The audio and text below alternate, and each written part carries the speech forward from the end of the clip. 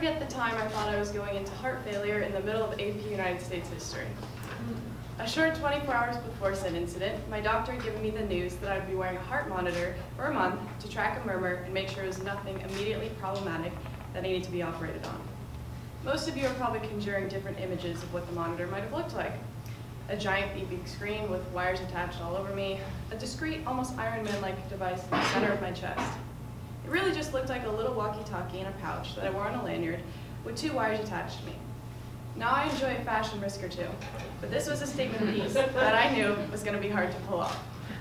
I was given the direction that I should just not touch the thing, and it would self-record any inconsistencies in my heartbeat and send them to my doctor's office just in case I was on the brink of death.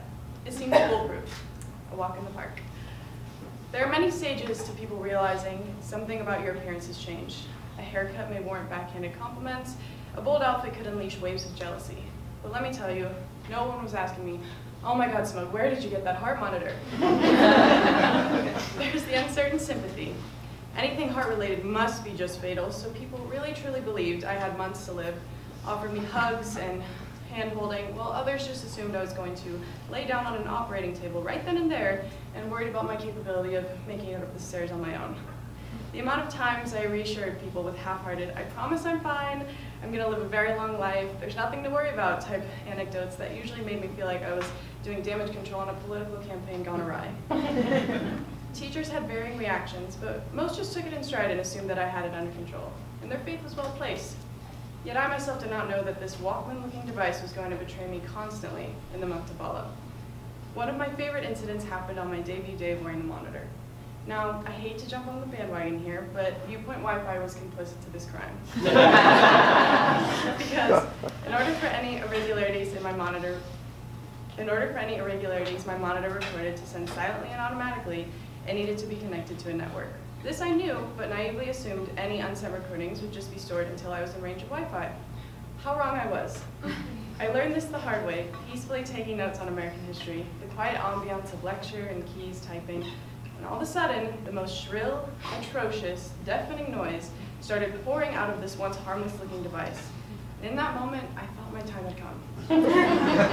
there was no conceivable reason why the monitor should have been making any noise that horrific unless a person was very much going into the light.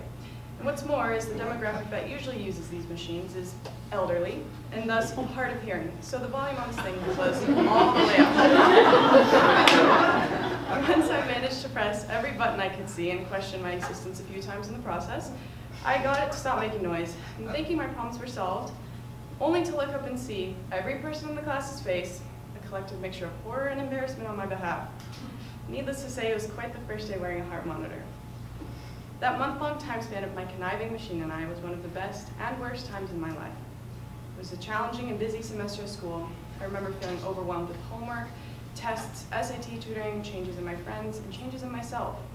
Not to mention the volatile screaming walkie-talkie with wires attached to me that I had to wear essentially 24 hours a day, seven days a week. I remember it rained non-stop for a week, and my house lost power for three days. I sat around my kitchen table with my family, in our freezing house illuminated by old camping lanterns and candles, eating all the ice cream out of our freezer before it melted. Someone I hadn't talked to in months called me out of the blue and professed their love. My grandfather passed away, and I watched my relatives come together from all corners of the world, call ceasefires on disputes, hold conversations in Spanish and English, and come together to remember the one man who was the glue, the bridge, and the foundation of our family. I felt a new kind of loneliness and uncertainty. It was though the path ahead of me was barely keeping up with each step I took forward. Ironically enough, the only real stability in this incredibly emotional, trying, and confusing time was my godforsaken heart monitor. this impossibly unpredictable machine, tracking any variations in the faulty organ keeping me alive, was in the strangest way comforting. A satirical anchor that interrupted classes, made everyone concerned, and somehow ruined any outfit I wore. my last day wearing it was the Friday before winter formal. I remember the feeling of peeling off the two electrodes on my chest and ribcage for the last time, wrapping up the wires and powering down the Spartan little monitor for good. I won't venture to say I was sad to see it go, but there was a deep sense of nostalgia. It had seen me at some of my darkest moments, listened to each and every beat of my heart as I ventured into the undiscovered country of ambiguity that was second semester junior year. If this experience taught me anything, it was that solace can be found in consistency, even if that consistency is a nuisance.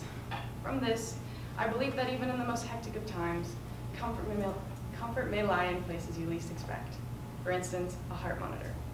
I look back at this time in my life often, to laugh, to cry, to see how far I've come. And I do it all again in a heartbeat.